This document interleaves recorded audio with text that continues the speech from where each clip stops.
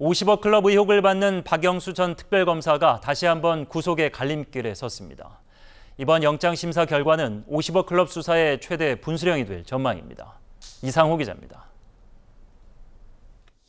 두 번째 영장 실질 심사를 받기 위해 법원에 출석한 박영수 전 특별검사. 번번이 송구스럽습니다. 있는 그대로 법정에서 말씀드리겠습니다. 박 전 특검은 우리은행 이사회 의장 재직 당시 컨소시엄 참여 등을 대가로 대장동 일당으로부터 200억 원 등을 약속받고 8억 원을 수수한 혐의를 받습니다. 이번엔 특검 재직 당시 딸을 통해 대여금 명목으로 11억 원을 받은 혐의가 더해졌습니다. 3시간 만에 끝났던 첫 번째와 달리 두 번째 심사는 5시간 반 동안 치열한 공방이 이어졌습니다.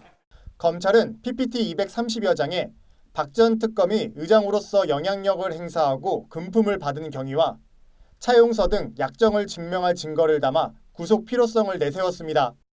박 전 특검 측은 약정 자체를 부인하고 실제 수수한 돈은 빌린 것임을 재차 강조한 것으로 전해졌습니다.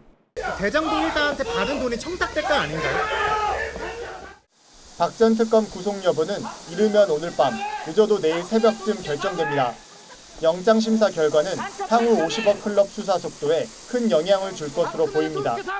OBS 뉴스 이상호입니다.